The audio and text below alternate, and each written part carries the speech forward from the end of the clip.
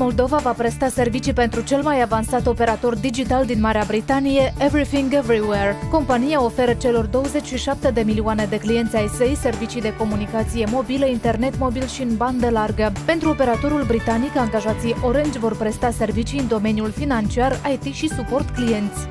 Orange intenționează să creeze peste 200 de locuri de muncă pentru uh, în, în parteneriatul cu II uh, din uh, Marea Britanie, lucru care va confirma încă o dată faptul că suntem un angajator responsabil.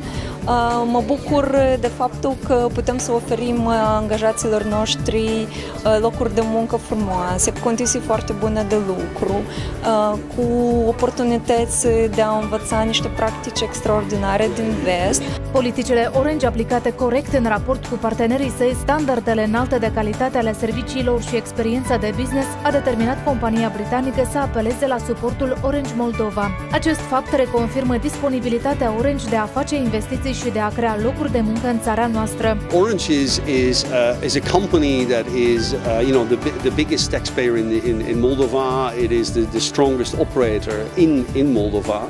and it shares a passion for innovation like EE back in the UK.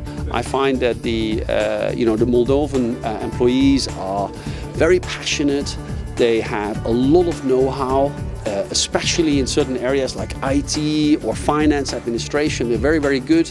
Actualmente, o echipă de 18 tineri din Moldova, angajați Orange, au început să presteze servicii companiei britanice. Responsabilitățile zilnice le oferă tinerilor oportunitatea de a cunoaște mai îndeaproape procesele de business ale celui mai mare operator 4G din Marea Britanie. Echipa la care lucrez oferă multe posibilități de dezvoltare, începând de la tehnic, analiză și respectiv partea socială și de prezentarea datelor.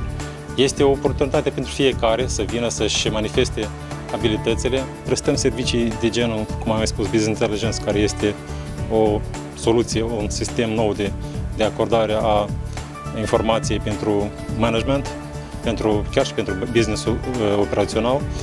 Deci este o arie nouă sau nu prea cunoscută în cadrul, uh, în cadrul Republicii Moldova, dar care este foarte populară în, în vest. Mie îmi place să lucrez aici, fiindcă este un context multicultural și internațional și multinațional. Uh, este un schimb foarte mare de uh, experiență, de experiență umană implicit și este în continuu un îndemn pentru a performa. Avem o echipă foarte tânără și um, prietenoasă, mare, vrem să creștem um, și ne place aici. Operatorul britanic este cea de-a treia companie pentru care Orange Moldova prestează servicii de nearshoring. Până în prezent, 170 de persoane au fost angajate de Orange pentru a presta servicii pentru companiile din alte state.